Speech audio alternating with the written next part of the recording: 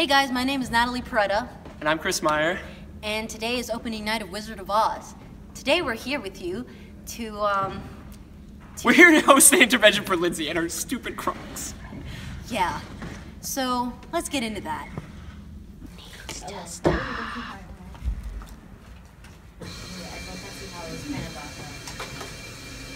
Hey Ariola, can I get your opinion on Lyndsey's Crocs?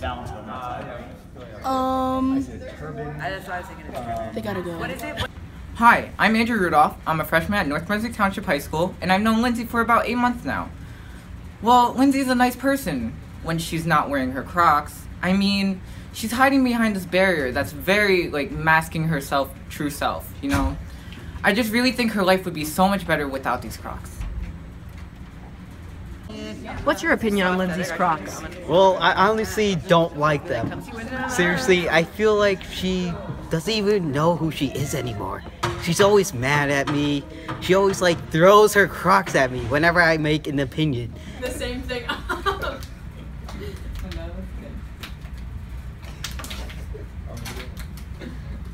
Dan, why are you always such a stupid winky? Start on the right! Come on! Not again. So, uh, what's your opinion on Lyndsey's Crocs? I fully support Lyndsey. I think Crocs are the new style and she should rock them. All of y'all should back up, okay?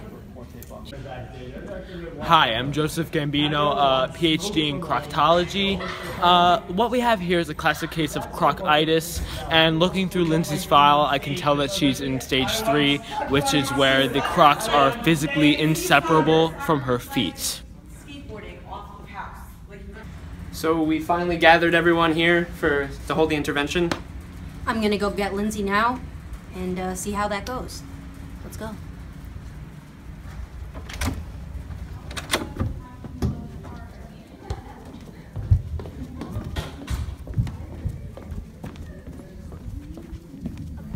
Lyndsey, um, could I borrow some foundation because I need to start doing my makeup? Totally. Awesome.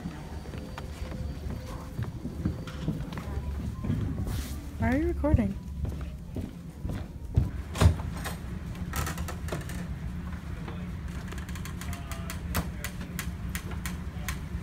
No! No! Why? Get him! Why? No, don't take the Crocs! Don't take them! No!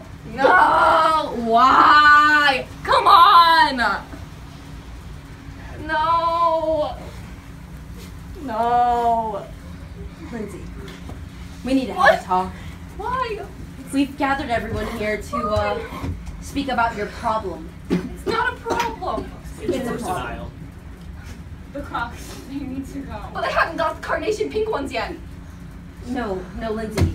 All of us here, we we all see that you have a problem. I mean, Giselle, tell her what happened. These Crocs are the worst thing that's ever happened to you, Lyndsey.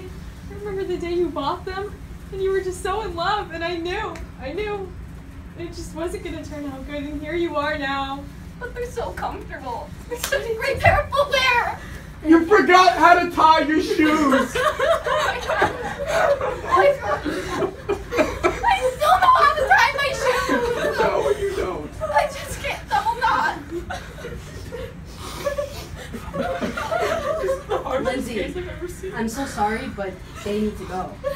No, they don't. They do. We're perfectly fine. They're not. Cassie, I think I think you should take them. No. What? Why? Why?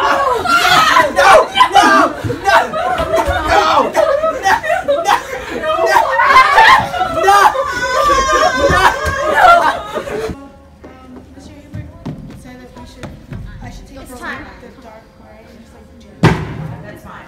It just needs something. It just Yeah, can't be just so it's- I'm fine with that. Why? And then if we have time, we can make the live Doesn't line. deserve to lose the Crocs. finish it up later. That's fine. Yeah, I just need something. Okay. It's just so it looks. I gotta go get them. No, stop her! Stop her! Is this like a short film by Nathalie Pereda right here? All right, guys, I have some news. I decided that the Crocs really aren't the best footwear solution for me. like I forgot how to double knot laces, and I realized the carnation pink really doesn't go with my skin tone. So I've decided to give up the Crocs.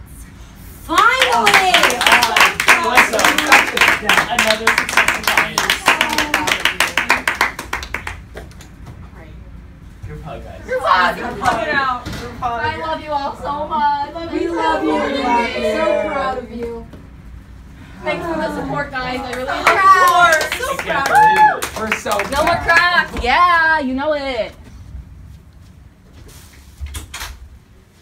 But what they didn't know is I have an extra pair.